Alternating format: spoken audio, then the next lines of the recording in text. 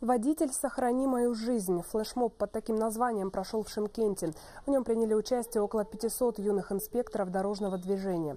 Дети вышли на центральную улицу города с плакатами и листовками. Таким образом, они почтили память погибших на дорогах. В регионе с начала года зарегистрировано 768 ДТП, в которых 65 детей погибли, а 800 получили различные травмы.